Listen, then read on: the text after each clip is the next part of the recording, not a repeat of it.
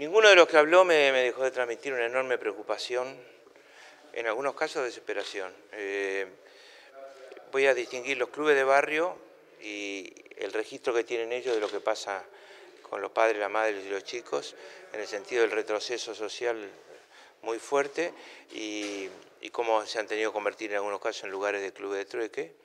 Este, o cómo la gente saca este, uno o dos hijos y deja uno o dos, es decir, empieza a, reducirse en algunos casos o deja de ir porque no puede pagar la cuota. Eh, hablé también con eh, la Unión de Comerciantes Minoristas y Almaceneros. bueno, ellos están en una situación de, cierre de comercio por todos lados y, digamos, de competencia desleal, por otro lado, de concentración. Se deriva de la crisis la posibilidad de una enorme concentración que deja afuera a los almaceneros de barrio.